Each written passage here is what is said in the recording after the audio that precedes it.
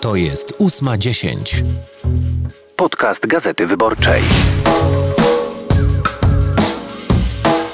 W dzisiejszym odcinku rozmawiamy o tym, ile kosztują nas katastrofy klimatyczne i co zrobić, żeby ich unikać. ósma dziesięć. Podcast Gazety Wyborczej. Witam Państwa, to jest podcast 8.10. Ja się nazywam Jakub Chełmiński, a moim i Państwa gościem jest dzisiaj profesor Szymon Malinowski z Instytutu Geofizyki Uniwersytetu Warszawskiego. Dzień dobry, panie profesorze. Dzień dobry. Spotykamy się tutaj, żeby porozmawiać o raporcie o katastrofach klimatycznych z zeszłego roku, ale y, jak sobie przygotowywałem się do naszej rozmowy, to już mi wyszły następne katastrofy. Nie wiem, czy pan śledził w ostatnich dniach. W Turingii w Niemczech rzeka wystąpiła z brzegów, Y, we Francji y, nie spotykano tej porze opady roku 100 litrów y, deszczu na metr kwadratowy w ciągu kilku dni spadło, zamknięte szkoły, drogi. O tej porze roku to się zdarza i będzie zdarzało częściej? To się zawsze zdarzało i będzie się zdarzało częściej. Z mojego punktu widzenia katastrofy klimatyczne warto odróżniać od no, tego, co się dzieje normalnie z pogodą, prawda? Więc y, katastrofa klimatyczna y, to jest y, trochę więcej niż standardowe zdarzenie, nawet ekstremalne pogodowe. To trzeba temu przypisać rzeczywiście ten czynnik zmiany klimatu, czyli trzeba przeprowadzić atrybucję. Czy tego typu zjawisko było możliwe jak było prawdopodobne w dawniejszym klimacie? Bo mówimy o zmianie klimatu, klimat już się istotnie zmienił w ciągu ostatnich 50 lat. No ale z tą porą roku to raczej jakieś wielkie opady śniegu się kojarzą niż deszczu. Przynajmniej w naszej części Europy. No może w Polsce tak, natomiast już niekoniecznie we Francji. Przypominam, że tam jednak y, kwestia zalegania śniegu i dużych opadów śniegu to jest troszkę rzadsza sprawa. Zresztą y, czasem się zdarza, prawda? Y, słyszymy o problemach z komunikacją, na przykład w tej chwili w Szkocji do niedawno po prostu była ogromna ilość zmarzniętego deszczu i opadów śniegu. Na większą skalę zdarzyło się to, co y, w tej chwili, w ostatnich dniach y, zdarzyło się w Polsce. Natomiast y, takie sytuacje jak w tym raporcie, albo inne, które w tym raporcie nie zostały ujęte, a które zdecydowanie można przypisać zmianie klimatu, to są dużo większe szkody i dużo większe problemy niż to, co tam y, wyszczególniono. To ja właśnie powiem, mówimy o raporcie Christian Aid, który wyróżnia 20 najdroższych katastrof klimatycznych z zeszłego roku i on przelicza po prostu na mieszkańca koszty takich katastrof na mieszkańca. W pierwszej 20 y, najdroższa się okazała katastrofa na Hawajach, gdzie zginęło 181 osób ale dalej mm, to są katastrofy z krajów globalnego południa. Tam chyba tylko jest susza w Hiszpanii i powódź we Francji, dwie pozycje na 20, a reszta to są takie kraje jak Vanuatu, Malawi, Guam. Dlaczego to tak jest, że tam to się dzieje częściej? Ja nie powiedziałbym, że tam się dzieje częściej, natomiast tam y, wymienił Pan kraje z małą liczbą mieszkańców. Więc y, to przeliczenie na jednego mieszkańca jest oczywiście bardzo, y, bardzo fajne, Y, natomiast y, w małym, niewielkim kraju, y, gdy zostanie zniszczona jakaś pojedyncza, istotna infrastruktura, skutki na jednego mieszkańca są bardzo wysokie.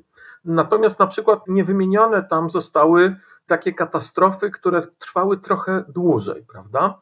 To, co się działo w ubiegłym roku w Kanadzie, jeśli idzie o pożary lasów to jest y, ewidentnie katastrofa klimatyczna, nawet na globalną skalę. Ja próbowałem dotrzeć do ocen kosztów tylko w prowincji Alberta, niezbyt ludnej zresztą. Katastrofa y, oceniana jest y, na prawie 10 miliardów dolarów. W Kanadzie, przypominam, spaliło się taka powierzchnia lasu w ubiegłym roku, jak pół całej powierzchni Polski i to trwało po prostu przez cały letni sezon. Alberta nie była tą prowincją, która była najbardziej dotknięta tą, tą katastrofą. Niestety nie dotarłem do oszacowań dla Quebecu, dla Kolumbii Brytyjskiej, dla Ontario, gdzie te pożary lasów zachodziły na wielką skalę. I to jest ewidentnie katastrofa klimatyczna, bo liczba pożarów była zbliżona jak w latach poprzednich. Natomiast powierzchnia, którą objęła ta katastrofa, jest cztery razy większa od następnej takiej najgorszej w historii. I, I znany jest powód, po prostu niezwykła susza i wysokie temperatury. Więc to są te, te katastrofy, które y, nawet nie policzymy skutków środowiskowych, tylko bezpośrednie skutki ekonomiczne. Y, to są katastrofy, które y, przynoszą straty w grubych miliardach dolarów, powiedziałbym dziesiątkach miliardów dolarów. Też przynoszą duże emisje, prawda? Przynoszą oczywiście duże dodatkowe emisje gazów cieplarnianych do atmosfery, tak. Na konferencji klimatycznej zakończonej w grudniu w Zjednoczonych Emiratach Arabskich kraje zgodziły się na podpisanie takiego funduszu szkód i strat właśnie dla państw globalnego południa, bo te, te, o których powiedzieliśmy, Francja, Niemcy, pewnie Kanada też sobie radzą we własnym zakresie. Czy, czy to jest dobra droga, żeby mm, leczyć skutki tych katastrof w takich małych krajach, które właśnie sobie nie radzą z nimi ekonomicznie? Ja powiedziałbym tak, że to jest oczywiście pewien temat zastępczy, to znaczy to na pewno pomaga tym ludziom i pomaga tym krajom. Natomiast to są niewielkie stosunkowo fundusze i skierowane no już na, że tak powiem, leczenie objawowe, a w niektórych wypadkach nawet na leczenie paliatywne. Natomiast nie ma tutaj kwestii y, mowy o zapobieganiu, czyli krótko mówiąc, ograniczaniu emisji, bo to jest jakby podstawowy problem. Są takie towarzystwa reasekuracyjne, Munich Re czy Swiss Re, które co roku publikują właśnie informacje o kosztach ekonomicznych. Znowu mówię, tylko ekonomicznych, tych, które się y, daje y, wyliczyć w twardej walucie w stosunkowo prosty sposób, tych katastrof związanych ze zmianami klimatu. No i problem jest taki, że po prostu widzimy y, gwałtowny wzrost tych kosztów. Czyli ten fundusz jest za późno i za mały, jak rozumiem. Tak, ten fundusz jest za późno, za mały, a poza tym to jest taki listek figowy, prawda? To znaczy brakuje tak naprawdę y, funduszu czy działań y, ogólnoświatowych, które prowadziłyby do ograniczenia tych katastrof, czyli krótko mówiąc, do ograniczenia zmiany klimatu. Więc to jest tylko taka sytuacja, coś się zdarzyło strasznego, no jakaś tam drobna rzutka po kilka złotych od y, różnych zainteresowanych po to, żeby tam komuś pomóc y, w szczególnej sytuacji. Natomiast brak tutaj jest takiego rozwiązania systemowego, y, co z tym zrobić na przyszłość i jak to lepiej zorganizować. No ale to ma Pan jakiś pomysł, jak to zrobić, żeby te wszystkie kraje, też te wschodzące wielkie gospodarki, wzięły w tym aktywny udział, w tym ograniczaniu emisji? Wie Pan, pomysłów jest bardzo dużo, z tym to nie są moje pomysły natomiast y, są one niezwykle niepopularne. Gdy ktokolwiek o nich wspomina, to dostaje straszną, y, że tak powiem, burzę i jest wyzywany od lewaków, ale ja może opowiem o y, Międzynarodowym Funduszu Walutowym, prawda, żeby już nie być tak bardzo oceniony. Otóż Międzynarodowy Fundusz Walutowy ocenia, że w skali globu dopłaty do paliw kopalnych z naszych pieniędzy, z naszych kieszeni, z naszych podatków, to jest 7% produktu globalnego brutto. To jest w ogóle zupełnie niewiarygodna ilość pieniędzy. Więc choćby wycofanie tych dopłat do paliw kopalnych i wykorzystanie tych pieniędzy na właśnie ograniczanie skutków i ograniczanie emisji, przy kompletnym neutralnym dla naszej kieszeni i naszych podatków efekcie, dałoby zupełnie niewiarygodny skutek w skali globu. Tam są oceny, które o tym mówią. Oczywiście to jest niepopularne, bo y, wynika z tego, że y, te paliwa kopalne musiałyby być znacznie droższe. My przez te dopłaty y, z różnych powodów redukujemy ich cenę. My oszukujemy się w ten sposób, mówiąc, że będą tańsze paliwa, to nam będzie lepiej. Otóż sytuacja jest dokładnie odwrotna. Przeciwni są oczywiście producenci tych paliw kopalnych. No nie tylko producenci paliw kopalnych są, są przeciwni. Proszę przypomnieć sobie y, sytuację, jak y, wzrosły ceny węgla po wybuchu wojny na Ukrainie. I oczywiście trzeba było osłonowo wprowadzać y, różnego rodzaju działania. W związku z tym wybrano najprostsze działania dopłaty do paliw kopalnych Natomiast nie wybrano działań takich, które zwiększałyby efektywność i, i powodowałyby, że tych mniej paliw kopalnych spalimy, uzyskując podobny skutek. Więc to nie jest tylko y, kwestia, y, że tak powiem, producentów paliw kopalnych, ale to jest kwestia takiego naszego bardzo krótkiego rozumowania i bardzo bliskiego spojrzenia.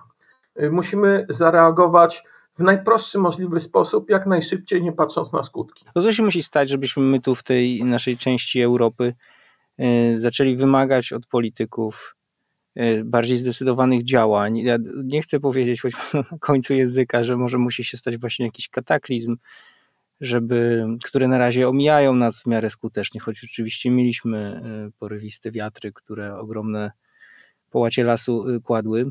Pan wierzy, że jakoś jesteśmy w stanie demokratycznymi metodami wymóc zmiany? No wie pan, żeby wymóc zmiany metodami demokratycznymi, powinno być przekonanie powszechne, Y, takie, które daje większość, że te zmiany będą skuteczne i dobre dla wszystkich. Y, my cały czas nie mamy takiego przekonania. Y, niektóre bańki, niektóre drobne grupy po prostu wiedzą to i o tym mówią. Natomiast, żeby to zadziałało w sposób demokratyczny, to musi to być wiedza powszechna i powszechnie zrozumiała więc y, to nie jest proste. Czyli y, jakby musimy wszyscy uwierzyć w to, że energia odnawialna jest w stanie zastąpić paliwa kopalne. Strasznie nie lubię tego określenia. Chodzi o energię niskoemisyjne. My, my używamy, wie pan, słów y, zaklęć. Energia odnawialna. Oczywiście, jak postawimy wiatrak, to emisje z tego wiatraka są bardzo niskie, związane tylko z tym, jak to postawimy. Natomiast jeżeli policzymy już ślad węglowy wiatraka, magazynów energii i całego nowego, że tak powiem, sieci energetycznej, która jest do tego potrzebna, to ten ślad węglowy wcale nie jest y, mały, może być nawet y, całkiem duży. Więc chodzi nam o niskoemisyjne źródła energii, łącznie z sieciami energetycznymi, i chodzi nam o rozsądne wykorzystanie tej energii, którą mamy. To znaczy, nam nie chodzi o to, żeby mieć energię, tylko żeby mieć odpowiednie usługi energetyczne żeby nam było ciepło, prawda? Może być nam ciepło, gdy zużyjemy dużo energii, gdy zużyjemy mało energii. Możemy się przenieść w jakieś miejsce, zużywając dużo energii, bądź zużywając mało energii.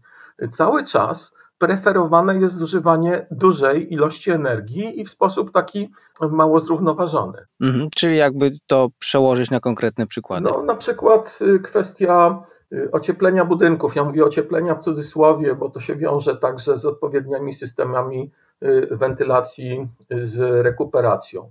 Y, kwestia na przykład energetyki jądrowej, która w naszych szerokościach geograficznych powinna być bardzo poważnym wsparciem dla tych źródeł, które nazywamy odnawialnymi. Postawienie tego samego ogniwa fotowoltaicznego w Afryce i, u nas da jednak znacznie lepszy skutek w Afryce z powodów oczywistych, prawda? Więc nie wszystkie rozwiązania, które proponujemy tutaj, są, że tak powiem, racjonalne w skali y, zapobiegania katastrofie y, w skali globu. Wiąże Pan jakieś nadzieje ze zmianą rządu w Polsce po ośmiu latach? Czy my skręcimy trochę w tę stronę właściwszą? Ja myślę, że, że zmiana jest w dobrą stronę, aczkolwiek troszkę za mała.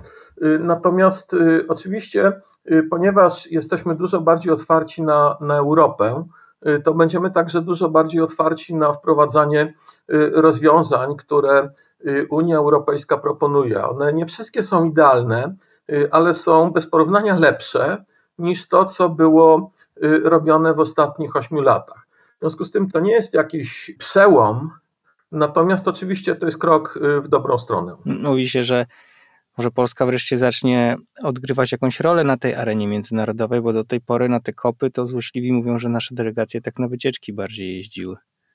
No, no wie pan, mieliśmy trzy kopy organizowane w Polsce, więc y, tutaj, jeżeli sobie popatrzymy na historię tych kopów, to y, teoretycznie mieliśmy duży wpływ na to, co się działo. Natomiast ogólnie rzecz biorąc, jeżeli popatrzymy na skutki, tych kopów, to wydaje mi się, że to jest mało efektywny y, sposób y, dbania o przyszłość w skali globu. Mhm, że dzieje się to właśnie za wolno i za mało przekłada na konkretne działania. Zdecydowanie tak. Y, tutaj znowu brakuje świadomości tego, jak to jest ważne i jak to wpłynie na naszą przyszłość. Świadomości w bardzo wielu krajach, bardzo wielu uczestników tych konferencji, nie tylko Polski. Wracając na nasze podwórko, myśli Pan, że takie kataklizmy, jak już no, zdarzają się, czy też gwałtowne zjawiska pogodowe zdarzają się coraz bliżej, czekają też nas w Polsce z większą mocą, czy na razie jesteśmy bezpieczni dzięki szczęśliwemu położeniu? No, jak na razie one nas za bardzo nie dotknęły.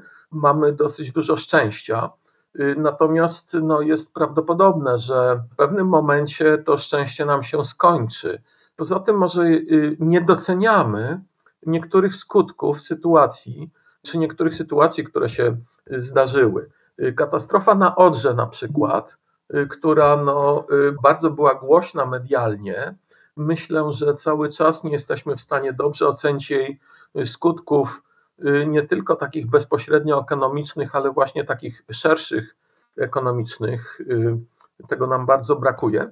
To była przykładem takiej zupełnie nowej katastrofy, gdzie kilka różnych czynników, czynnik ludzki i czynnik y, klimatyczny, splotły się ze sobą i spowodowały coś zupełnie nowego. Na razie jeszcze nie na skalę taką, która by bezpośrednio dotknęła nas wszystkich, ale na taką skalę, gdzie to zostało mocno zauważone. A przypomnijmy, że ekolodzy ostrzegają, że złote algi już są notowane też w Wiśle i jeśli taki splot tych czynników zajdzie, to może się to powtórzyć także w Wiśle. To jest y, niestety nieuniknione. No, są też nieuniknione przyszłe katastrofy czy epidemie związane ze zmianą y, różnego rodzaju wektorów przenoszących choroby, y, które kiedyś nie, nie występowały w Polsce, do których nie, nie jesteśmy przyzwyczajeni znowu w jakimś wyjątkowo korzystnym splocie okoliczności, to może być poważny problem. Może być poważny problem z pożarami lasów, może być poważny problem przede wszystkim z brakiem wody. No i może być poważny problem z, z, wybrzeżem. To jest problem, którego nie doceniamy. A tymczasem czekają nas zapewne kolejne ferie bez śniegu albo ze słabym śniegiem, co może da wielu osobom do myślenia. No, na razie kilka dni będzie mroźnych i śnieżnych, w związku z tym nie liczyłbym tutaj na za wiele. Y, reakcje, jeśli idzie o pogodę, są takie y, bardzo skrajne, to znaczy wystarczy y, parę chłodniejszych dni, żeby odwołać globalne ocieplenie. Fakty są takie, że mamy początek stycznia, kiedyś śnieg leżał od połowy grudnia przynajmniej, prawda? No, grudzień był ekstremalnie ciepły. Dziękuję bardzo panie profesorze za rozmowę. Moim państwa gościem był profesor Szymon Malinowski. Dziękuję bardzo. Dziękuję. 8.10. Podcast Gazety Wyborczej.